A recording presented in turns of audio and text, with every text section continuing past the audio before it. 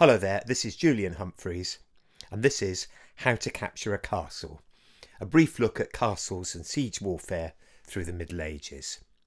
I'm going to start by looking at the history of castles, how they've developed in this country. It should be said that there were a few castles built before the Norman conquest in England, particularly along the Welsh marches by Norman settlers, but it's really after 1066 that you see the first great surge in castle building. Hundreds were built at that time throughout the country by the invading Normans. Um, and they were more than just military, they were also administrative centres. And to a certain extent, they were status symbols and symbols of, of, of Norman power. Now, the bulk of those uh, were what we would call motte and bailey castles. There, very few of them, well, none are complete now because they, they were built of wood and that has disappeared. But the mottes, the mounds on which they were built, are still around, and that's really what they are. They're they're a wooden tower normally on a mound. That's the motte, a mound of earth, and then around it a palisade enclosing the bailey, and inside the bailey you would have had domestic buildings, maybe stables, uh, storerooms, and animals, etc., could be brought in in the event of a of a siege. The drawback of these wooden buildings can be seen quite clearly, actually, in, in the in this picture of the Bayeux Tapestry. This is um, the siege of Dinant in Brittany, and you can probably see that in the middle, it's being set alight to by those two guys on foot. And uh, of course, that is your your big problem. If you build in wood, uh, you are vulnerable to fire. And so, in the 12th century, you get a gradual replacement of wooden castles by stone castles big castle building period, the 12th century, there were an awful lot of sieges at the time, particularly in the anarchy, the wars between Stephen and Matilda in the middle of, of that century.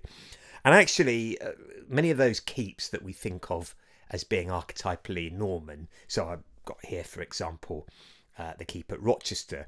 They were built in in this period. In fact, many of them were built by um, by Henry I and Henry II uh, in the first half of the of the of the 12th century. So much more powerful, much much more defensible, of course, than the the wooden towers of a century before. But the big drawback with them really is that there's no opportunity for an active defence. All you can really do is to sort of get in them, close the door, and hope that the enemy go away or that somebody comes along to to relieve you. And so in the 13th century you begin to see a change from that towards castles with the possibilities of much more active defence. Now this is um, which is that castle that's being built in Burgundy from scratch using medieval techniques. Uh, and it's based upon a castle that might have been built by Philip Augustus of France. And you can probably see that now the defences are all on the outer wall. You've got lots of towers around there, round towers that will deflect missiles, etc., but also give a better field of fire for the archers and crossbowmen. And they can also enfilade, in other words, they can shoot in from the flanks on anybody trying to get over the walls. Now, as the 13th century went on, you saw the development, the gradual development of concentric castles. That's where you've got lines of defence, one inside another. So I've got this picture of Dover here, and you can see right in the middle the Great Tower of Dover. Around it, then there's a lower wall, and then beyond that, there's a third, much more extensive wall.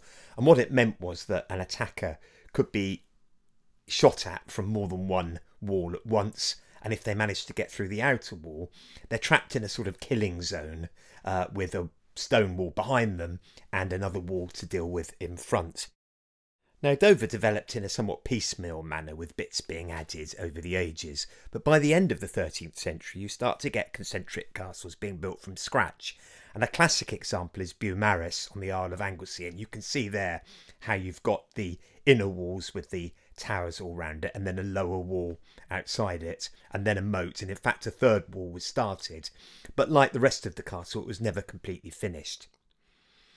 Fast forward to the 14th century, and you see something of a change, and you start to see castles being built really as much as status symbols and comfortable places in which to entertain as anything else.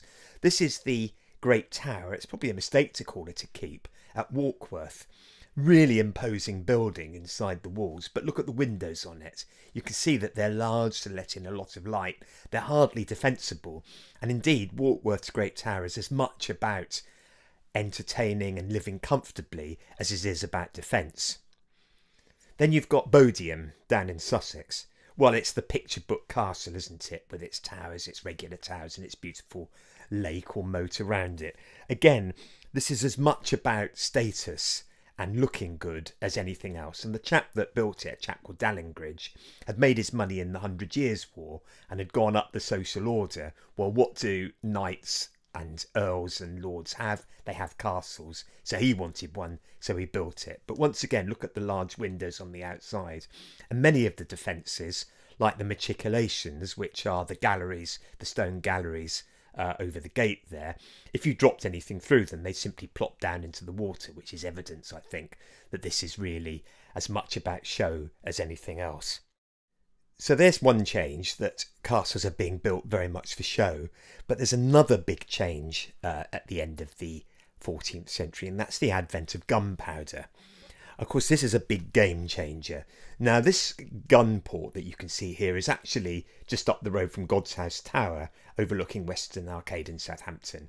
And it was where a handgun really could be poked out and shot at people. So we've now got gunpowder changing the way that warfare is, is fought. It will take a while, but it's having an impact. Uh, even so, these uh, guns are primarily, I suppose, anti personnel weapons and they could be incorporated into the more traditional defences of a, a, castle. So look at this gatehouse at Carisbrooke, for example. So you've got the projecting gallery, the machicolations, where unpleasant trees can be dropped down on attackers. You've got crossbow loops, the crosses of crossbow loops. You've got arrow slits, you've got crenellations, but you've also got a line of keyhole-shaped gun loops. So here they are being incorporated into um, a medieval castle. But as time goes on and you get much bigger guns, these are bombards that were left behind by the uh, English after an unsuccessful siege of Mont Saint Michel in the 15th century. These are the real game changer because these mighty weapons could make short work of a castle wall with the large stone and sometimes iron balls that they, they could shoot. Once this happens, the days of the traditional castle with its tall walls and its towers, etc., etc., are numbered because they just can't stand up to this kind of thing. And so you get a big change in the way that fortifications are built. This is Southsea Castle, um, and as you can see, it's got a much lower profile now. Gone are those high walls, gone are the towers. It's a much squatter building, so it's less of a target. And also, the walls are lower, they're thicker, so they're able to resist artillery uh, but they're also able to mount guns. Not that they would have stood a chance against that ship that's sailing past in the picture, but that's by the by. Okay, well, we've looked at the development of castles through the Middle Ages. Uh, let's have a look now at how you might capture one.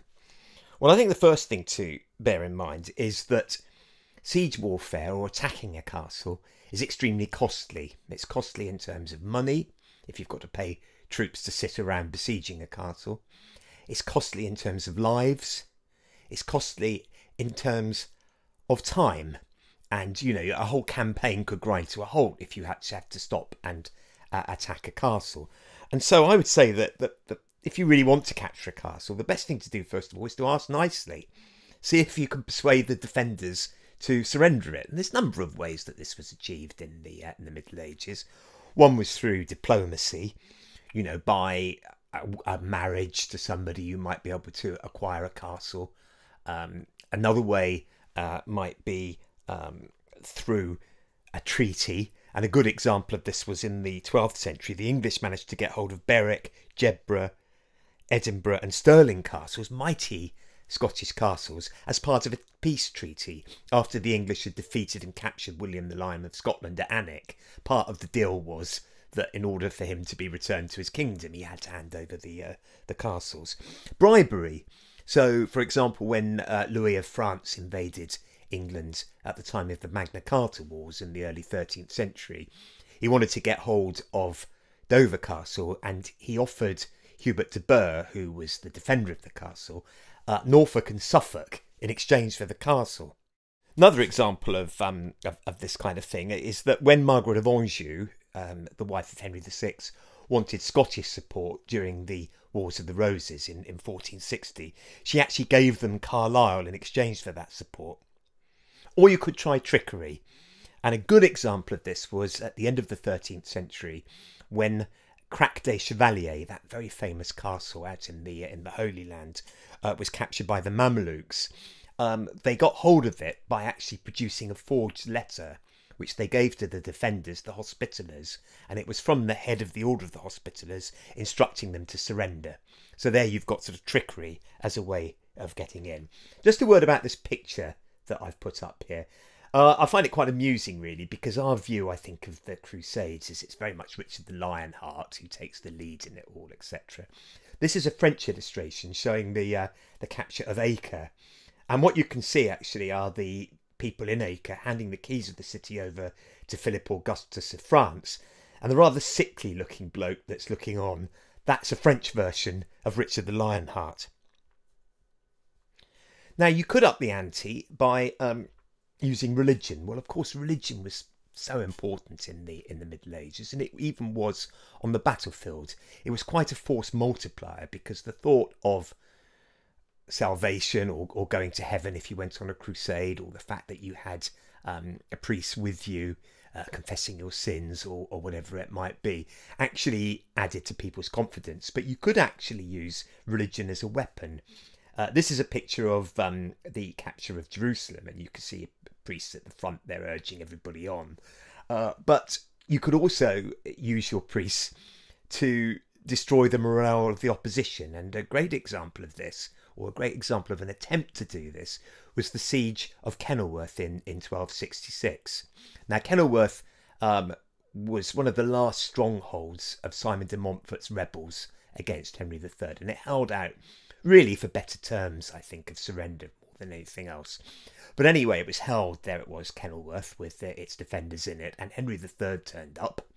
Um, and he brought with him actually the Archbishop of Canterbury and the papal legate, and so, in a bid to undermine the will of the defenders to carry on fighting, he got the Archbishop of, of, uh, of Canterbury and the legate to formally excommunicate all the defenders, in other words, deny them the sacraments. Well, this was a pretty serious thing in the Middle Ages because if you died without those sacraments, you kind of went to the hot place.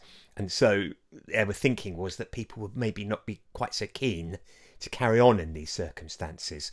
But actually, the guy who was in, in charge of, uh, of Kenilworth, uh, a chap called Hastings, he was made of sterner stuff than this, and he decided the best thing to do was to pour scorn on it and take the mickey out of it.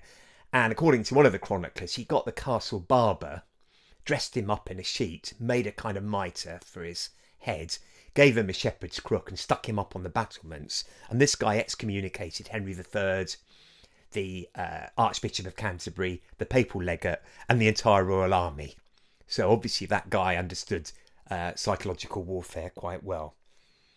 But what about if you summon a castle, you try and persuade it to surrender by all the methods that I've said, but the defenders won't play ball? What if they're not going to surrender and you're going to have to take it by violence? Well, what you could do is you could summon it formally so you could go along and you could say along the lines of, you know, surrender now and we will reward you. Fail to surrender and when we get in, we'll take your lives or things to that effect. Or you could simply try a surprise attack. Now, Robert the Bruce was excellent at this, and in the early 14th century, he captured a lot of English held castles by surprise attack. Linlithgow is an example of that, where it was held by the English and Robert the Bruce, it's full Robin Hood stuff, this. He hid a load of soldiers in a hay cart, which went up to the gates as though it was delivering something. They opened up the gates, it went halfway through the gates and then stopped, so they couldn't shut the gates. And then all these guys jumped out of the hay and they captured the castle. Uh, on another uh, time, Roxburgh, at Roxburgh, his men crept up under blankets uh, at night and sneaked up to the walls in that way. And one of the chroniclers said that the English saw them, but thought that it was a herd of cows out there. Uh, the English were quite adept at this as well. During the Hundred Years' War in 1437, they captured Pontoise in France. It, well, it was a very snowy day. There was quite a blizzard and there were lots of snow. And they crept up to the walls with sheets on them to camouflage themselves. But obviously, you know, when you get up to the to the castle, if you can't get in, like at Linlithgow through the gates. You're going to have to scale the walls. And you can see in this picture this going on. You can see there's two guys on the right going up their ladders, and then over on the left you've got archers trying to keep the heads down of the defenders so they can't push the ladders back or what have you. Um, obviously, the guys that are going up those ladders, if the enemy are ready for them, they're horribly exposed, aren't they? Because, you know, they can have all manner of missiles rain down on them arrows, crossbows, also things like boiling hot sand, uh, blinding lime, etc. So, you know, this was a risky move storming in this way. One thing you might do, rather than here where you've got the two guys going up the ladder in the same place, you might try and attack the walls in different places and that way get in. But no cover. So if you wanted to do this more formally, you might build a belfry or a siege tower. This picture here shows um, the siege of Lisbon in the mid 12th century. And you can see what a siege tower is. It's an enormous great wooden tower which would be filled with men that would climb up the ladders on the back of it. And then it would be painstakingly dragged up to the castle or city walls. And when it got there, up on the top, whilst people on the top shot down into the city and onto the battlements, a drawbridge would be lowered, and then people would storm across the drawbridge onto the walls, and that they would, and that way they would get into the uh, the castle. Uh, there are problems though. The first thing is it's painfully slow and consequently the defenders knew when it where it was going. They could see it coming towards them, so they had time to prepare for the attack. So obviously, if they had catapults and missile throwers, they'd rain stones and fire if they could at the at the siege tower. Again, at the siege of Kenilworth, uh, Henry III's uh, army had a great big siege tower called the Bear, but the defenders had a catapult some of the stones are still there actually in the uh, in the castle, and they were able to destroy the bear before it could be brought up to the wall. Um, other things that the defenders could do, well, they could uh, actually make their wall higher. They could see where the siege tower was going to arrive. It's not it couldn't really change direction very quickly, so they could simply build their wall up so that it was higher than the siege tower. And on one occasion, the Byzantines actually got hold of a great big ship's mast and they used it to jam the drawbridge shut so it couldn't be lowered. Another obstacle that the attackers might have to deal with was the fact that a castle or a town wall might be surrounded by a ditch. Well, if it was filled with water, you've got real problems, but even if it didn't, you can see how it would make life difficult for one of those towers. It would simply topple over. So before you could even launch your siege tower against the wall, you had to fill in the ditch, which once again gave the defenders a good idea of where the siege tower was going to arrive. But you know, just actually having to go up there under fire, you know, under arrow fire, etc., to fill the ditch was a difficult job in itself. And in the siege of, of Jerusalem, it, it said that um, the any soldier that threw three stones into the ditch was rewarded with a penny. I don't know what size the stones were. I, I'd have just lobbed a few pebbles in, but I imagine they meant something much larger than that. Nevertheless, these things um, could be used successfully. When the Crusaders captured Jerusalem in 1099, they used siege towers to get across. The one in this picture, it looks huge, doesn't it? But actually, they, they could be very large. Uh, the one that the English built at the siege of Lisbon um, in 1147, it was at 95 feet high. Okay, so so far we've been talking about going over the walls. But if you can't go over the walls, the other option, of course, is to go through them. And the main way that you can do that is by creating some kind of breach in the wall. Well, you could attempt to do this with a battering ram. Um, it could be a large affair like the one that I've illustrated here. And clearly, by repeatedly banging the ram part against the wall, you eventually create a, uh, a crack, and then, all being well, the, the wall falls down. Um, you can see it's got a, uh, a, a kind of sloping roof on it. They called it a penthouse. Uh, that was to deflect whatever the defenders could throw down upon it. But they weren't always very easy to operate against a castle for a number of reasons. One of the big problems was that you needed to have the space to deploy them. Uh, if, for example, the castle had a slope leading up to it, they were quite difficult to use. And also, quite a lot of castles, the approach to the gate, which was probably the weakest place and the place where a ram like this could be used, instead of running up to the gate, it ran parallel to the wall, which of course made life very difficult.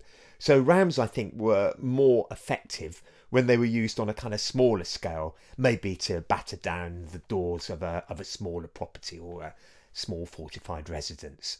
So instead of going up to the wall and trying to batter it down from close quarters, the other obvious thing to do was to use missile weapons to bombard a wall to knock it down in that way. Now, these were clearly used in lots of sieges, but exactly what they were is a bit difficult to tell. And the reason for this is that the chroniclers at the time were never very precise about exactly what they were talking about. So they often described all these things as simply engines, or they might say that they were petrarii, in other words, a Latin word meaning a stone thrower. So exactly what kind of petraria it was is not clear. However, essentially there were three types of missile throwing weapons, and they worked on tension, torsion, and leverage, respectively. Well, the main type of tension weapon was a version of the Roman ballista. It was often called a springald. And I think, as you can see, it was basically a giant crossbow that could shoot bolts or launch stones at the enemy. Now, the defenders often had them as well.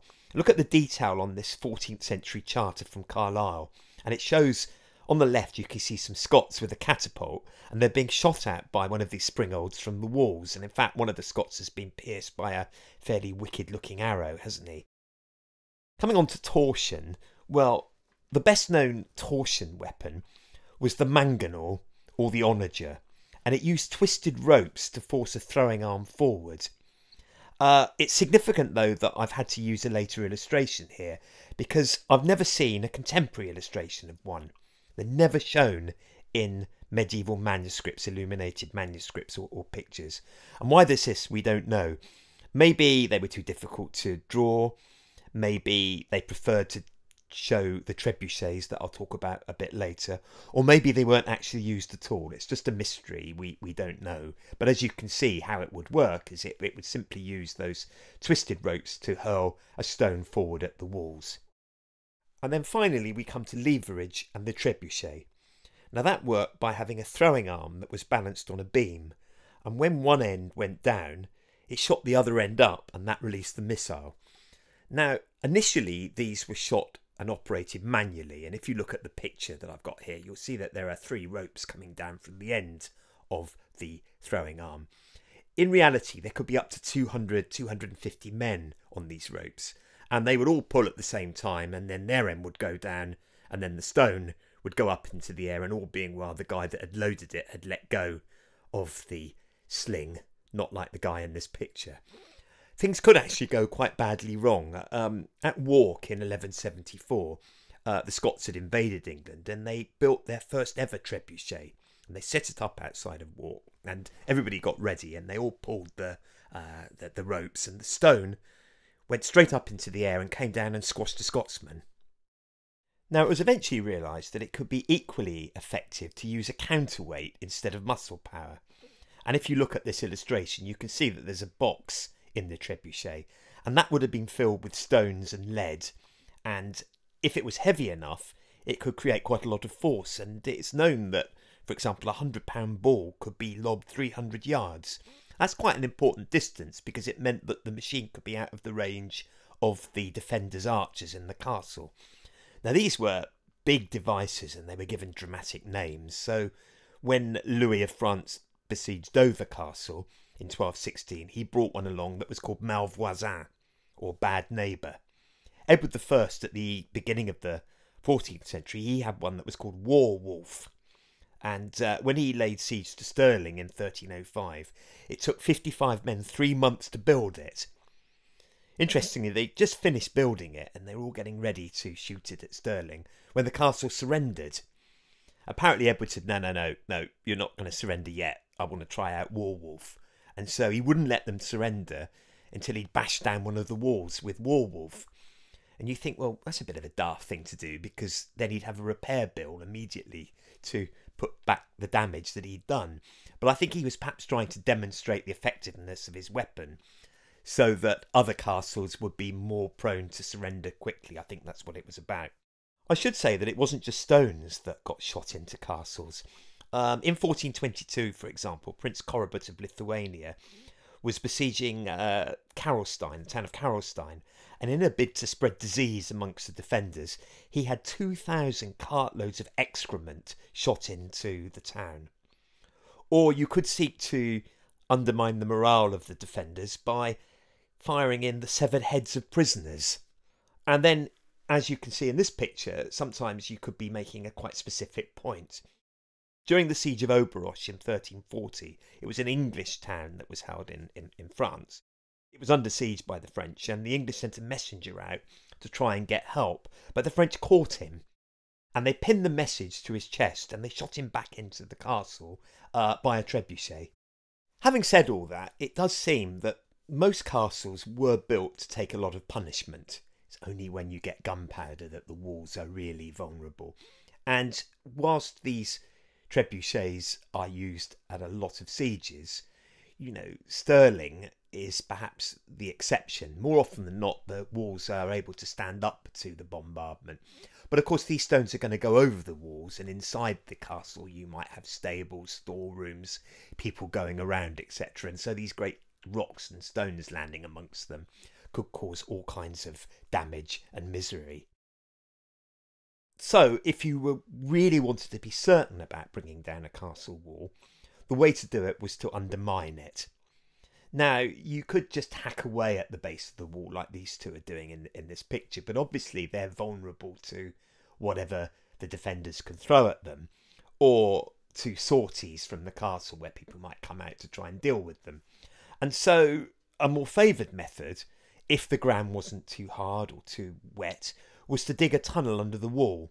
So you'd go under the wall and you'd undermine it, and then you'd prop up the wall so that it would only fall down when you want it to, and you'd prop it up with pit props. And then you'd, at the time that you needed, you set a light to those pit props. The wall then would, of course, have no support, and it would come crashing down. Now, some of these tunnels still survive, in fact, um, at Dover and uh, and here at St Andrews, and you can actually go down them. Uh, sometimes, incidentally, the um, attackers would actually invite the enemy commanders to come out and inspect the mines that they dug, the tunnels that they dug. Why would they do this? Well, because not everybody was like Edward I. Not everybody was prepared to damage a castle unnecessarily. And so, if they could spare themselves a, a, a hefty repair bill, they would do so. So, they might take out a, uh, a defending commander and say, Look, we've undermined your wall. Um, it, you, your days are numbered now if you surrender now, we'll let you go free, etc. But if you force us to destroy the wall, uh, your life is going to be forfeit. Now, a really good example of a use of a mine in this way was in 1215 in the siege of Rochester. It was holding out against King John during the Barons' Wars. Now, King John was able to get into the Outer Bailey, but the keep at Rochester held out against him. So he got his miners to undermine a corner of the of the keep. They duly propped up the cavity and they piled up brushwood around um, the pit props. And then when all of his troops were ready to attack, they set alight to the brushwood, thinking that the pit props would then burn and the wall would collapse. The trouble was there wasn't much air down there, and they couldn't get the fire going. Uh, but John actually, on, on, this occasion, he was he was quite inventive because he's recorded as having ordered 40 pigs of the type least good for eating. And he got the fat from these pigs and he had it smeared all down there amongst the brushwood, so that when they set it to a light, of course, all this fat started to burn quite quite ferociously, and that got the fire going. And then, of course, it transmitted to the pit props. I often think about the defenders upstairs, you know, in the castle. Ooh, I can smell bacon. And then the next minute, half their castle falls down. When you look at Rochester, actually, you can see where this happened because after it had been captured, it had to be rebuilt. And if you look at the turrets on the outside of the castle, you'll see that um, three of them are square, but one in the corner is round, and that was the one that was rebuilt. You can see it quite clearly in this picture because when they did the rebuilding, styles had changed and they moved away from square towers, which were more vulnerable because they had limited fields of fire and you could knock off the corners, to round towers, which were better able to deflect missiles and also they gave you a better view out of them. Now, the French tried a similar undermining tactic at, at Dover, uh, where they wanted to get in through the gatehouse. Now, I think at, at Dover, the defenders clearly knew something was up because the French had to dig through chalk. And, you know, if you were up on the battlements and you saw all these piles of chalk suddenly appearing everywhere, it was pretty clear what was going on. And you could also, to a certain extent, work out exactly where the attackers were digging by putting bowls of water along the battlements and looking at the ripples. And more ripples was evidence that there was digging and vibrations underground. Anyway, the French completed their tunnel, and in fact, you can still see bits of it today if you go to, to Dover. They set fire to their mine. The towers duly collapsed, but the defenders, as I say, they, they knew what was going on and they were ready. And what they'd done was they'd built a second emergency wall, a sort of barricade really, out of timbers, etc. And that was just inside the, the castle gates, and they were able to hold the French attack and then eventually drive them back, and the castle never fell. Although assaults like this attract most attention, the commonest way to capture a castle was simply to besiege it. Now, siege comes from the French word to seat, and that explains really what you did. You sat down around a castle and you either slowly destroyed it, or more often than not, you forced it to surrender because its supplies ran out. Well, we think about starvation, but more desperate than that was when water ran out and a number of castles had to surrender because their wells ran dry. Uh, but starvation could be a real problem, and a good example of this was when Henry V laid siege to Rouen in 1419 1420. Now, the French were running out of food, but they didn't want to surrender because they were convinced that a relieving army was going to come and, and rescue them. So they wouldn't surrender and they ended up um, it's recorded that they ended up eating rats and mice and cats and dogs and really anything until eventually you know when the last mouse had been consumed they were forced to give in a similar thing happened a little earlier in 1347 after the english victory at crecy when edward iii was besieging calais and it held out for much longer than he wanted it to really and um, it was only when it ran out of supplies that it surrendered, and Edward wasn't in a merciful mood. And he actually was all set to execute the leading burghers of Calais, and you can see it here in this Rodin uh, statue or this Rodin sculpture of the burghers of Calais coming out to meet their fate. But in fact, his wife intervened and he ultimately spared them. But it's a kind of reminder, I think, that more often than not, it was the local people that suffered most in these things. It wasn't really the knights and the soldiers, it was the innocent civilians. And in fact, if the attacking commander was ruthless enough, he could actually use the local civilians as a, as a weapon. And a real grim example of this is the siege of Chateau Gaillard. Now, Chateau Gaillard, it meant saucy castle. And it may have been saucy, but it was also an incredibly powerful castle which Richard the Lionheart built on the borders of Normandy to protect his duchy. But in 1203 1204, Philip Augustus of France mounted a major campaign to overrun Normandy, and to do so, he needed to capture Chateau Gaillard. Now, just below Chateau Gaillard, you can see it in this picture, was a little town. It was called Petit Andelys. And the population of the local town, well, they didn't see themselves as French, they saw themselves as Normans, and many of them might, might have been married to people in the garrison. They certainly were servants. They worked for the garrison, etc. And so when uh, Philip Augustus's French army turned up, what did they do? Well, they took refuge in the castle. But this was a real problem for Roger de Lacy, who was the governor of the castle, because he had plenty of food for his garrison, but 1,400 extra mouths to feed started to eat up his supplies. And they, they had a, a term for people like this people that didn't really do any fighting, but needed feeding, and they called them, rather cynically really, useless mouths. Now, after a while, uh, Roger de Lacy thought, well, I can't keep feeding these people. You know, we're just going to run out of supplies too quickly. So he evicted 500 of them. He kicked them out of the castle. Anyway, the French were relatively merciful and they let them through their lines and let them disperse to wherever. But when Philip Augustus turned up at the siege, he realised he could use these people in the castle to weaken the defenders by getting them to um, eat up the eat up the supplies more quickly. So when the next lot of useless mouths were evicted from the castle, uh, the French wouldn't let them pass, and they actually shot at them. So these poor people, these poor civilians, etc., you know, the old, the weak, the sick, women, children, etc., they were driven back from the French line, so thought we'd better get back into the castle. When they got back, the castle gates had been shut, and the castle wouldn't let them in either. So they were stuck in this terrible situation in no man's land, and essentially they starved there.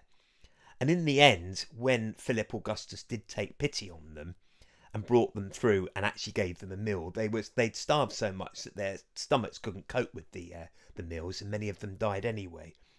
But I think it's a, a, a kind of reminder that that while castles and knights in armour and siege towers and archers etc., it's all very romantic, but there's always a price to be paid in war. And then, I think, as the case is now, that price was highest always for the innocent population.